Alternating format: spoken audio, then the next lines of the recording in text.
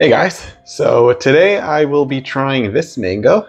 This is a lemon meringue, also known as a PPK mango. Now, full disclaimer, I actually just recorded a video of me tasting this, but I realized after I was done that my microphone had shut off shortly after I started recording, so it didn't capture any of what I was saying.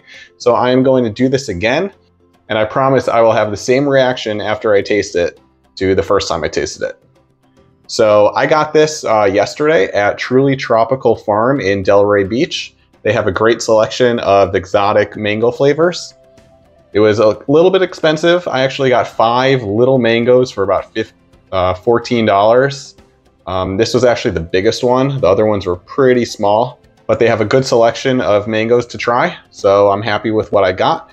Now there's another farm in West Palm Beach called Tropical Acres, not to get confused with Truly Tropical which has a great website which talks about all the different varieties of mangoes. There's like hundreds of them on that website. So I'm gonna read off what they say about the lemon meringue. Po Pyu Kalay, that's what this was originally called. That's where the PPK comes from. Po Pyu Kalay was introduced to Florida from Myanmar by Maurice Kong and later given the name lemon meringue by Gary Zill which it is now more commonly known as. It is a small, oval, oblong yellow mango, just like this, with pale yellow fiberless flesh, just like that, with a very rich, sweet, citrus dominated flavor that most people adore.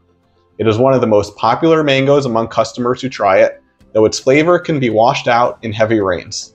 The seed is small and polyembryonic. The trees are vigorous, vertical growers with dense foliage and are reasonably good producers. Both the trees and fruit are anthracnose resistant, but they tend to attract a lot of pests and the trees can sometimes suffer dieback problems.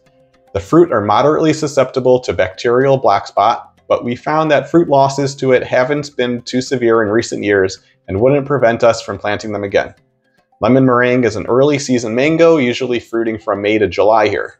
Despite the aforementioned issues, it is probably still a good choice for people in humid areas of Florida that desire an early, early season citrus flavored mango. And another fun fact is that the seeds from lemon meringue mangoes actually uh, is where lemon zest and orange sherbet varieties of mangoes came from. So the lemon meringue has two good offsprings. And knowing that, I'm actually going to save the seed from here, try planting it. And uh, in about 10 years, if you stick around until then, you could see what, uh, what I get and what the mangoes taste like. All right, so let's go ahead and try this again. I will cut off another little slice.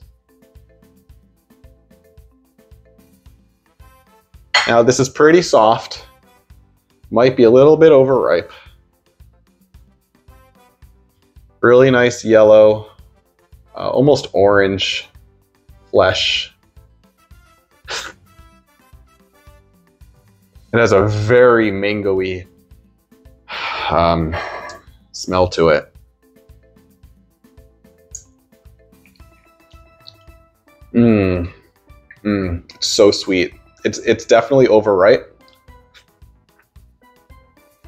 Very, very sweet. It has no tartness to it whatsoever. Um, there's maybe a little bit of a hint of lemon flavor. But there's really no no tartness, no like citrusy. It's very sweet. Um, lemon meringue is probably a very good description because very sweet, there's a hint of lemon flavor. Um, it's a bit overripe. You know, I, I, I would like it with a little bit more of a uh, little more tartness to it. It's a little too sweet for me.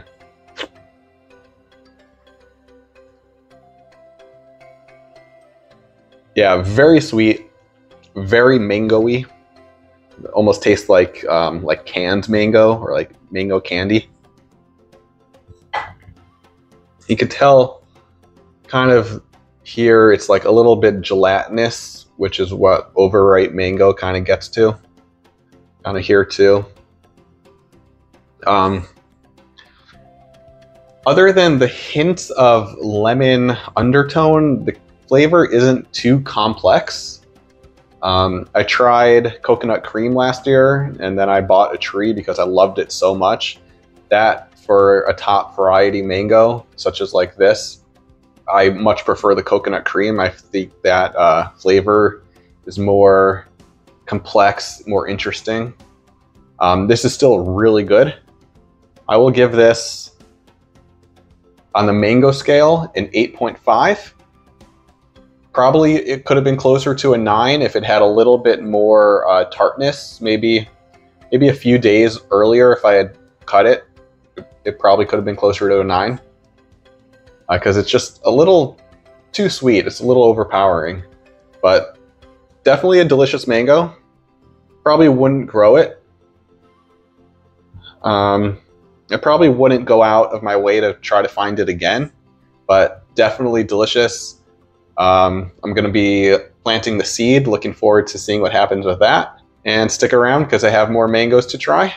So I just want to do a quick update. I just ate the lemon meringue mango and a pretty, pretty thin seed, very narrow. Going this way, long and narrow. So good seed to flesh ratio on that one. I'm going to uh, try to plant this and see what happens. All right, thanks for watching.